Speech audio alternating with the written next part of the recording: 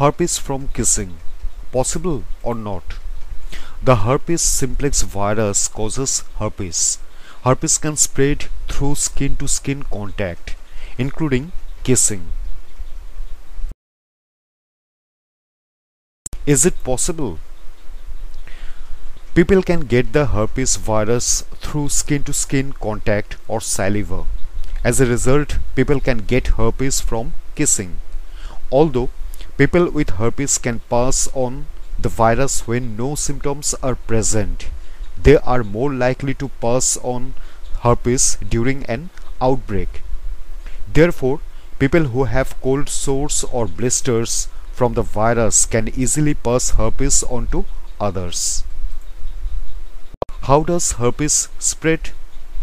There are two types of herpes virus herpes simplex virus type 1 or HSV1 and herpes simplex virus type 2 or HSV2.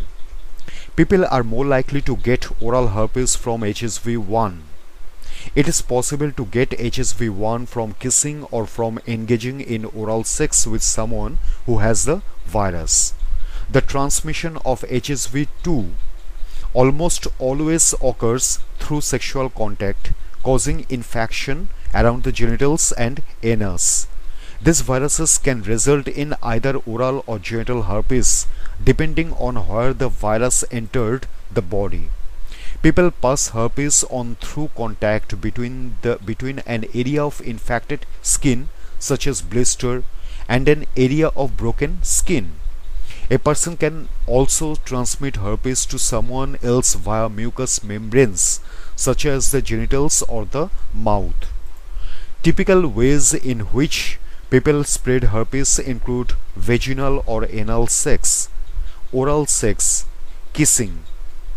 People with either virus can pass it on more easily during an outbreak. However, it is possible to pass on the virus when no symptoms are present. The reason for this is that there are several days throughout the year where the virus becomes activated despite no symptoms being present. The term for this is shedding or asymptomatic reactivation. It is also possible for someone to get oral herpes if they perform oral sex on a person who has genital herpes, but this is rare as HSV2 does not often affect the face. Can herpes spread via shared objects? It is possible to get herpes from sharing certain objects. Any objects that have come into contact with the saliva of a person with herpes can pass on the virus to someone who then touches them. However, according to the Centers for Disease Control and Prevention of CDC, People will not get herpes from the following objects toilet seats, bedding, swimming pools, household objects such as cutlery, soap, and towels. How to prevent passing it on? The blisters and cold sores that appear during a herpes outbreak are very contagious. People can help prevent passing herpes on by avoiding certain types of contact during an outbreak. If people have a herpes outbreak during which they will have noticeable symptoms, they should avoid the following kissing or any other oral contact, oral sex, sharing objects that have come into contact with saliva such as chopsticks, vaginal or anal sex if herpes symptoms are around the genitals.